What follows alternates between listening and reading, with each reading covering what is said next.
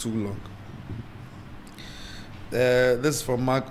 Good morning, Prophet. If I may ask, how many hours in a daily basis do you pray to sustain spiritual energy? To see clearly when prophesying forensically from from Philippines, Papa. All right, good. Now, every prophet is different. So what will work for you is not what will work for someone else. Okay, but in your formative stages, when you are growing up in the prophetic, there must be times where you can invest four hours, eight hours, ten hours, twelve hours in prayer a day. A day.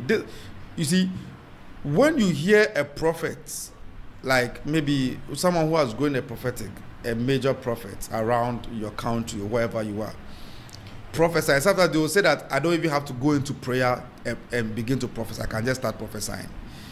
If you listen to that and you follow it, you will never arrive at your prophetic destination because they are not telling you what they used to do before they arrived where they are.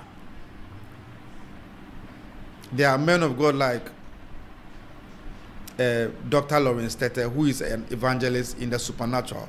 And sometimes he will go into meetings, crusades, and then all manner of miracles. Or there will be someone with a leg, one is shorter than the other, and he will pray and then pull the shorter one and to become as long as the other one.